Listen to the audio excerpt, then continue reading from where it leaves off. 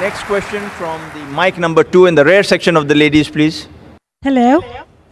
Uh, good evening, sir. My name is Ruby Parker, and I'm a dress designer. This is a question on behalf of my friend.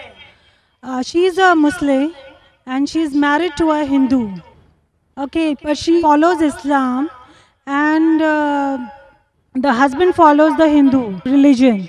And uh, she and her family, they are not comfortable regarding she married to a Hindu. Now, can you put some light on this because she is very confused of what to do. She is madly in love with that man.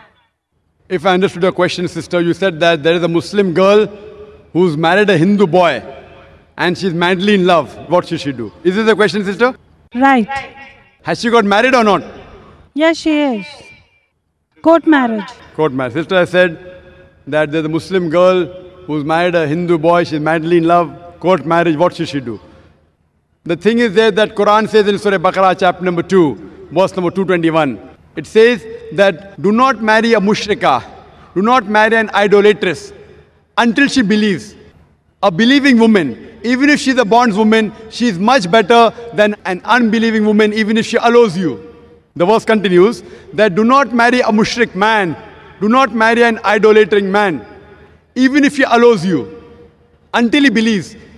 A believing man, even if he's a bondsman, even if he's a slave man, He's far better than a mushrik man, unbelieving man, even if he allows you. So in Islam, a Muslim girl cannot marry a non-Muslim man.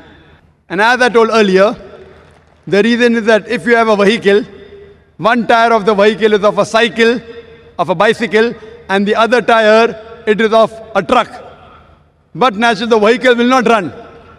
And furthermore, every human being would want that their spouse also go to Jannah. So if she claims to be a Muslim, her main purpose of life is to please Allah subhanahu wa ta'ala.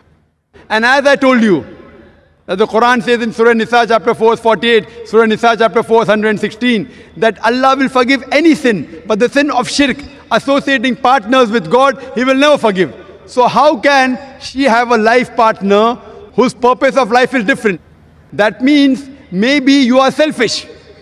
You want to go to Jannah, but you don't want your life partner to go to Jannah.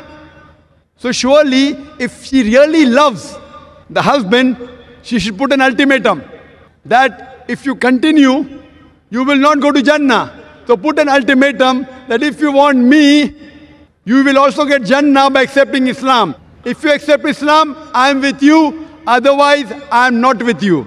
So that she gets the best of this world and he also gets the best of both the world.